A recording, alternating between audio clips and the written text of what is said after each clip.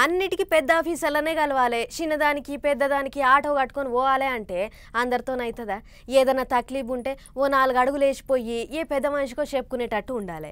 సమస్యలు చెప్పుకోనీకే సర్కార్ వాళ్ళు వాడ వాడకు అసొంటి సౌలతి పెట్టాలి అని షాన్ వద్దుల సందాన్ని కుట్టుర్రు పట్నం పబ్లిక్ అందుకే సర్కార్ వాళ్ళు తెరిచిర్రు వార్డ్ ఆఫీసులు.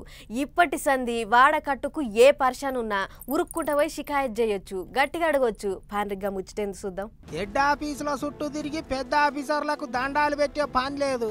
ఆపతొస్తే ఆగమాగం ఆటో కట్టుకొని ఉరికే అవసరం లేదు. వార్డు వార్డుకో ఆఫీసు పెట్టే ఎగురం చేసింది తెలంగాణ సర్కారు. జిహెచ్ఎంసీలో ఉన్న వార్డులల్లా ఎక్కడికక్కడ చిన్న చిన్న ఆఫీసులు తెరిచిండ్రు. ఇక ఇప్పటి సంది వాడకట్టుకు ఏమైనా తకిలీఫ్ ఉంటే పబ్లిక్ వార్డు ఆఫీసుకు పోయి చెప్తే చాలు. సమస్య పరిష్కారం చేస్తారట. ఇక చూడరి మంత్రి సారే చెప్పిండు. మరి కోటి మందికి ముప్పై ఐదు వేల మంది ఏం సరిపోతారు? దీన్ని కూడా సమర్థవంతంగా మనం డీసెంట్రలైజ్ చేయాలి. అధికార వికేంద్రీకరణ ఫలాలు ప్రజలకు అందాలి. ఇక్కడ నుంచి కాచిగూడ నుంచో అంబర్పేట నుంచో బాగంబర్పేట నుంచో నల్లకుంట నుంచో గోల్నాక నుంచో మనం పోయి సర్కిల్ పోయి కలిసేది కాదు.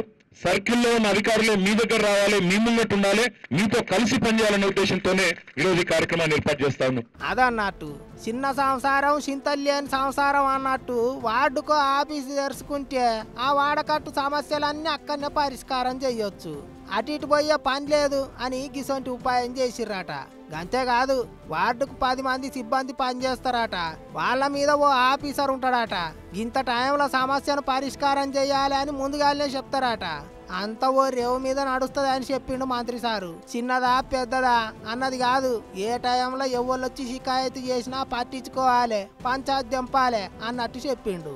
ఇన్నొద్దులు గల్లీలో ఏమన్నా ముష్కిలుంటే ఎవళ్ళకి చెప్పాలి ఎవళ్ళకి చెప్పాలి అని ఎదురు చూసుడు అవుతుండే ఇక ఇప్పుడు అడ్డ మీద ఓ ఆఫీసే తెరిచిండ్రు. చక్కగా అక్కడికే పోయి చెప్పొచ్చు. మంచి గురమే చేసిర్రు. ఒక్క పట్నంలోనే కాదు ముందు ముందు జిల్లాలో కూడా అవసరమైతే వార్డు ఆఫీసులు తెరుస్తారట. ఇక అంత మంచిగానే ఉన్నది కానీ ఈ నడమ చెయ్యి పార్టీ వాళ్ళకి గాలి సోకిందో ఎట్టనో మరి కారు పార్టీ వాళ్ళకి కూడా ఊకూకే కలవాడుతున్నారు. కాచిగూడలో మంత్రి కేటీఆర్ సార్ ముంగట్నే పట్లు పట్టుకోనికే పోయిండ్రు. అటు మేడ్చల్ మున్సిపాలిటీలో దశాబ్ది ఉత్సవాలు చేస్తుంటే మాట మాట పెరిగి పొట్టు పొట్టు కొట్టుకున్నారు.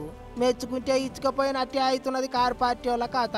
సరేగా ముచ్చట పెద్ద లీడర్లు చూసుకుంటారేమో కానీ వార్డు ఆ ఆఫీసులు పబ్లిక్ను ఎంతగానో వెలుగులు చేస్తాయో వాడలన్నీ ఎట్లా మెరుస్తాయో చూసుకుంటా పోవాలి మరి.